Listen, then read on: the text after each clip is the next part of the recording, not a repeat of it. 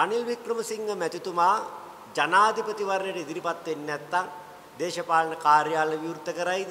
රැස්වීම් පවත්වමින් රටවටා යාවිද? එහෙමත් නැත්නම් මෙහෙම වැටුප් වැඩි කරාවිද? දරා ගන්න බැරි සහන ලබා දෙවිද කියලා සමහරව අපෙන් ප්‍රශ්න කරනවා.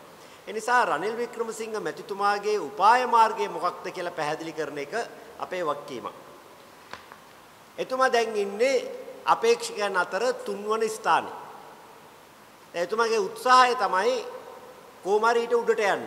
ඒ සඳහා එතුමා මේ වෙන විට ලක්ෂ 20ක් ඉඩම් කැවිලි නොමිලේ බෙදා හරිනවා 50000ක් නිවාස බෙදා හරිනවා දරා ගන්න බැරි ප්‍රමාණ වලින් වැටුප් වැඩි කිරීම කරනවා ඒ වගේම හිතා ගන්න බැරි සහන ලබා දෙනවා මේ සියල්ල කරන අතරේ විපක්ෂයෙන් මන්ත්‍රීවරු දිනා ගන්න උත්සාහ කරනවා ඒ වගේම රාජපක්ෂවරු ආණ්ඩුවෙන් ඉවත් කර ගැනීමත් රනිල් පිලේ උපාය මාර්ගයක් මොකද පොහොට්ටුව හැරගිය മന്ത്രിවරුන් සජබ മന്ത്രിවරුන් දෙමළ ඡන්ද මුස්ලිම් ඡන්ද එතුමන්ට ආකර්ෂණය කරගන්න ලොකුම බාධාව බවට පත් වෙලා තියෙන්නේ රාජපක්ෂවරු ඒ නිසා රාජපක්ෂවරු ඉවත් කර ගැනීම තමන්ගේ ඡන්ද කුට්ටිය වැඩි කර ගැනීමේ රනිල් පිලේ ලොකුම උපාය මාර්ගයක්.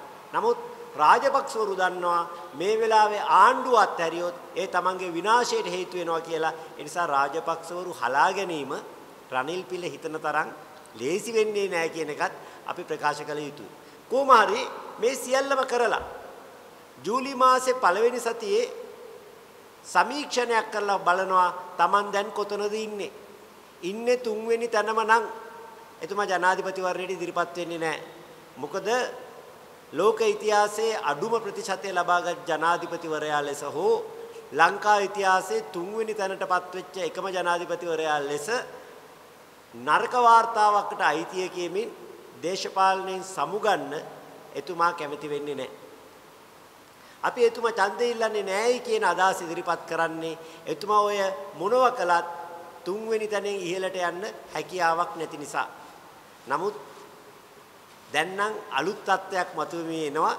ඒ තමයි පසුගිය ජනාධිපතිවරණයේදී වගේම සජිත් ප්‍රේමදාස මැතිතුමා කටවරද්ද ගන්න පටන් අරන් තියෙනවා. එතුමා දිගටම කටවරද්දගෙන ගියොත් නම් දැනට පළවෙනි තැනේ සිට තුන්වෙනි තැනට ඇදගෙන වැටිලා තුන්වෙනි තැන ඉන්න රනිල් වික්‍රමසිංහ මැතිතුමාට දෙවන තැනට යන්න හෝ පළවෙනි තැනට යන්න අවස්ථාව ලැබෙනවා. ඒ නිසා දැනට පළවෙනි තැන ඉන්න සජිත් ප්‍රේමදාස මැතිතුමා තුන්වෙනි තැනට ඇදගෙන වැටීම වැළැක්වීමට නම් එතුමාට තියෙන්නේ වාචාය සංවරෝ සාදු කියලා බුදුරජාණන් වහන්සේ දේශනා කර බුදුබණ සිහිපත් කරගෙන කටේ සංවරය ඇති කර ගැනීමයි.